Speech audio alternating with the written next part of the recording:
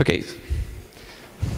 Well, thank you. I'm uh, David Pfau, talking about uh, connections between generative adversarial networks and actor-critic methods.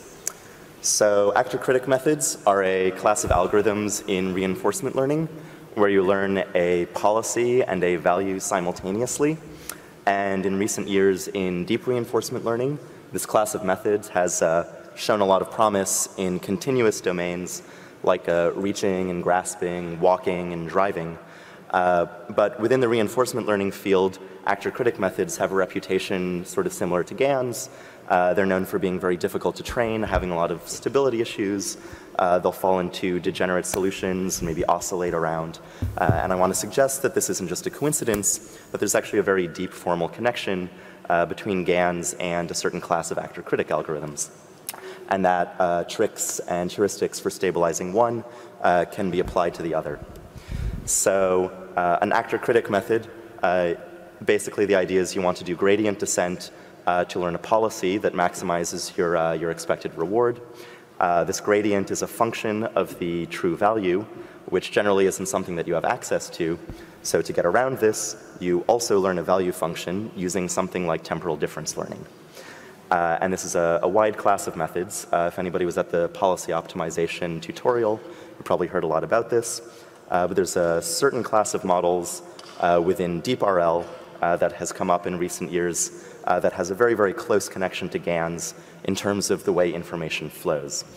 basically, this algorithm, deterministic policy gradients, and its stochastic extension, stochastic value gradient zero, work by training a policy uh, that never actually is able to see the reward, uh, but it's trained entirely with gradients uh, passed back from the value network.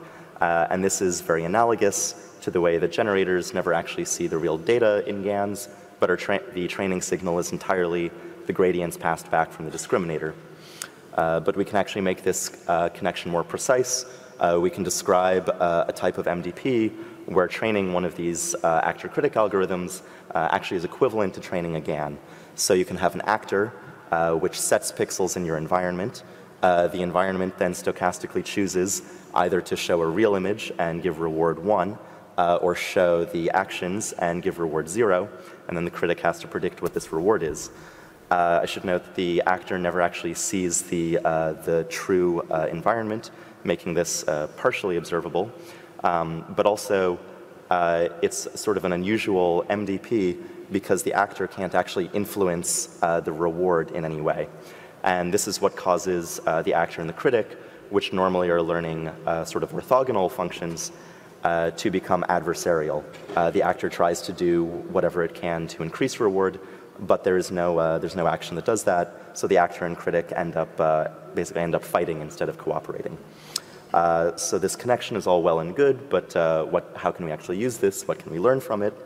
Uh, well, just as you've probably heard a lot today about um, various tricks of the trade for stabilizing GANs, uh, the actor-critic community also has a, has a large number of uh, heuristics and methods, um, some of which have not yet been applied to GANs. Ideas from GANs have not yet been applied to actor-critic algorithms. And also anybody who's very interested in, um, in developing new methods uh, for training GANs, I would encourage them also to look at these algorithms like deterministic policy gradient, and uh, consider developing algorithms that work for, uh, for a broader class of, uh, of problems. And if you're interested in learning more about what these tricks are, come, uh, come talk to me and come see the poster. So thank you.